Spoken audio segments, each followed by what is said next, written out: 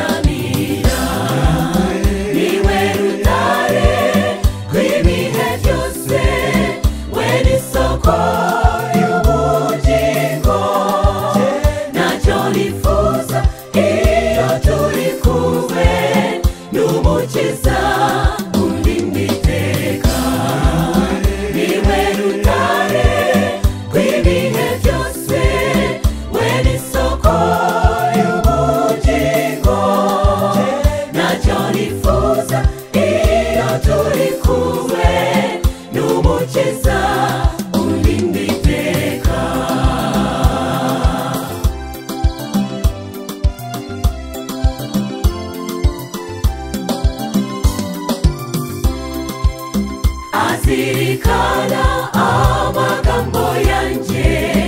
ategera amatwa amasengesho yanje